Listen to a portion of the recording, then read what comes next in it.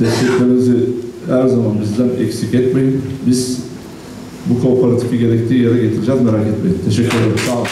Edirne Toplu Ulaşım Sistemi olan genel kurulu bugün gerçekleştirildi. Sisteme kayıtlı üyelerin yoğun katılımıyla gerçekleşen kongre, divan kurulunun belirlenmesiyle başladı.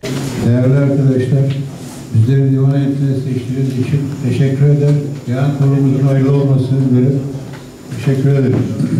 Ardından 2022 yılı Yönetim Kurulu ve Denetim Kurulu faaliyet raporuyla bilanço ve gelir gider tablosu okunarak ayrı ayrı onaylandı ve ibra edildi. Teşekkür ederim. Geçmiş olsun. Başkan buyurun. Maddelerin görüşülmesi sırasında gergin anlarında yaşandığı genel kurul seçimin yapılmasıyla devam etti.